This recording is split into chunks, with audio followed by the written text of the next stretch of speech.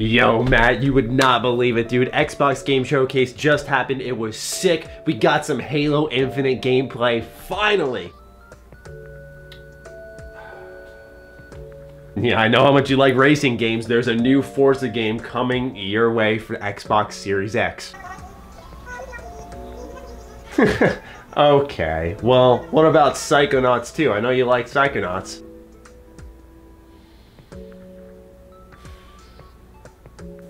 The Obsidian trifecta happened. Real shit? Oh, holy.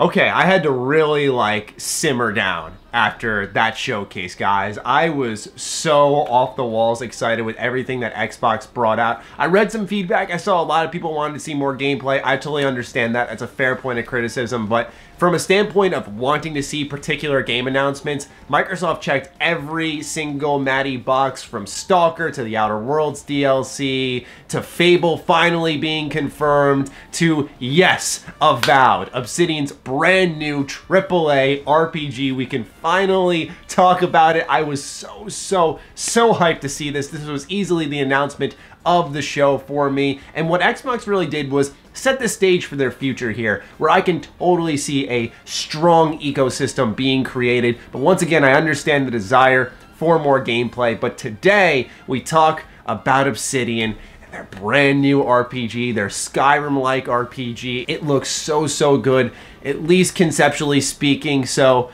let's come down to earth, Matty, or at least try to, and talk about Avowed. Oh man, let's go. So Avowed is a first-person RPG, and more interestingly, it is set in the universe of Eora. Now, if you're a Pillars of Eternity fan, that will sound familiar, but as rumored, as speculated, and as reported actually by myself on the channel just a couple of weeks ago, it is indeed set in the Pillars of Eternity universe. So yourself, me, we got to go out and play Pillars now because we want to be familiar with what Avowed is going to do. Lore-wise, story-wise, we don't know when and where in the universe of Eora this game is in particular set, but still, we do have two games to go off of now, but they're very different from what Avowed is. While Avowed is a first-person role-playing game, Pillars of Eternity is an isometric style RPG, made in the likes of, say, Divinity Original Sin. So personally, I can get by that gameplay. Some of you out there I know aren't fans of this style of RPG. Maybe it's a little more hardcore, it's too slow, it's too boring. I understand, I get that but it's a good style of game if you can really get into it. And I've heard some wonderful things, especially about Pillars of Eternity 2 Deadfire. So I will personally be picking these games up finally playing them through. I was waiting for this announcement to see if the rumors were true about this being set in the Pillars universe. It is in fact the case, so I will be buying these games and playing them as soon as possible. It seems like we got some time though, so maybe I don't want to rush straight into it. We'll talk about potential release dates later on in the video, but let's stick with more concrete details. So we know it's set in Eora. We know it's a first-person RPG. It had Skyrim vibes right away because it's a fantasy RPG. And to me, man, that is excellent. The Elder Scrolls is so far away, right? We're all waiting for ES6, but we need more challengers. And as far as I'm concerned, in more recent products, Obsidian has really proven themselves to be a top tier developer, a top tier RPG developer. I've seen more and more as time's gone on People have had issues with the Outer Worlds. I understand that. I respect it. I don't think it's a perfect game, but I think it's a game that satisfied a void that has been in the industry for arguably like nine years at its time. So personally, I think they're on the right path, and the idea that they've gone from the Outer Worlds, which was clearly made on a budget, to something like AAA level with Avowed is so hype. Now I want to return to a couple of pieces of art that I covered here on the channel a number of weeks ago saying that Obsidian's AAA RPG may have been right under our nose. And that was when speculation was abound on them making a fantasy style RPG, but was this particular artist really just working on something completely separate. But it seems like the skeletons that we saw in the trailer do match up to some similar sense with what we see on the art here. And if we take that and then we look at some of the different sets of armor here, it is absolutely incredible what Obsidian is building here. There is such a style, a flair to each of these pieces of armor. I am just beyond excited. It feels like, in a sense, Fallout 4, except I have a better head on my shoulders here. Like, I'm able to be critical of things. so I have this legitimate, tangible excitement for the game where even armor is hyping me up. And I just gotta say, man, as someone who loves collecting all the weapons and armor in pretty much any RPG they play. The way that this armor looks in this game, I just I want to get my hands on it, dude. It looks it looks so good. It looks so good. All right, so now let's start to narrow down a little bit of a potential release date. Avowed seemingly is a little bit further out. They didn't even give us a projected release date, but I think we can get a good idea just based off how general game development work. So Obsidian split up their staff a decent amount, right? Now we know there's a team working on Avowed, there is a team who's working on the Outer Worlds DLC, which we'll talk about in a separate video, and we have a team that is much smaller, and maybe that'll expand if the game's popular, working on Grounded as it stands. And they have about 200 plus people working at the studio, so they can only spread themselves so thin. And we don't really know the true size of what the Outer Worlds DLC will be. They said they plan two story expansions, and the word expansion is pretty important to note there. We don't know how big this actual DLC will be. But Obsidian was acquired by Microsoft in 2018. Matt Booty did say during the Microsoft stream that this was the game Obsidian pitched to them right upon acquisition. So if we take that at face value, at least to get some type of gauge on when this game began,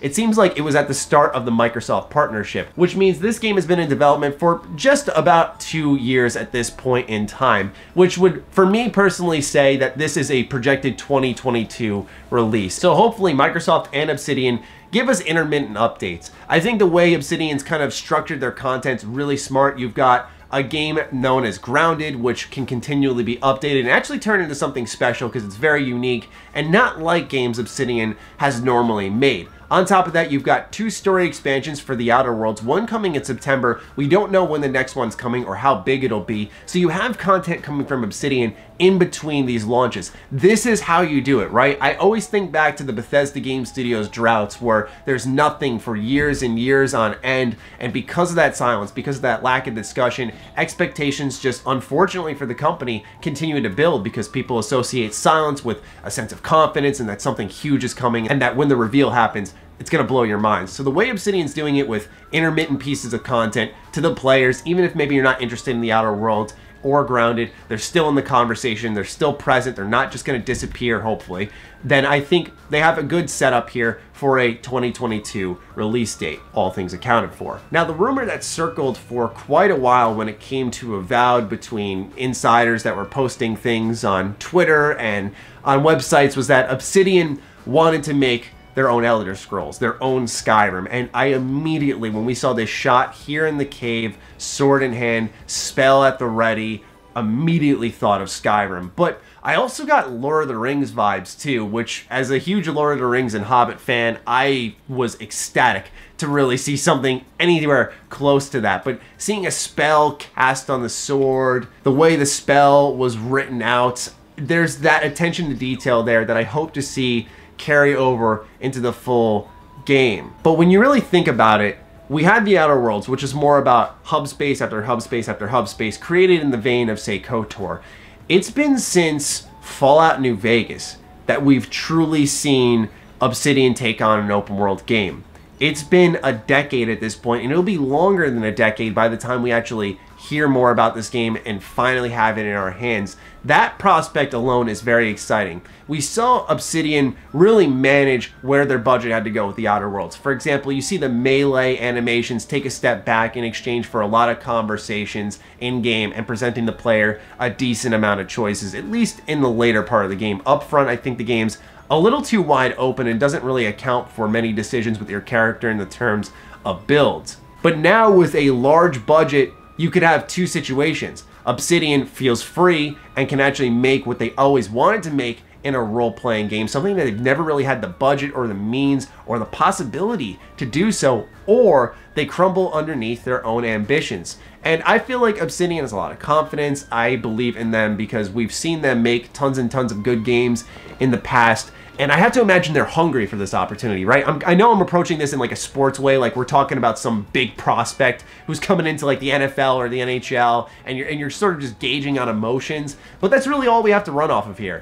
But I really feel like they're hungry. They haven't had an opportunity like this where they can just dip into Microsoft's pockets and be like, all right, let's make something sick. Let's make a definitive RPG, right? That's what's also really cool about this. This is a Xbox exclusive IP as far as we know. And that means that Xbox finally has like a brand new role-playing game series. I'm excited for the likes of Halo and Fable, but finally they have something new from a very talented studio and they're going to make a very big game. That that's the thing that I feel Xbox nailed. They may not have shown off a ton of gameplay, but we got a feel for their ecosystem, a lot of their studio acquisitions, what they're bringing, and just how bigger and better a lot of the games these teams are making compared to their previous releases. Like you instantly got a feel of the scope and scale of Avowed compared to the Outer Worlds, which was much smaller in size. So that is where I will leave it, ladies and gentlemen. I'm stoked for Avowed. I guess this was more of a excited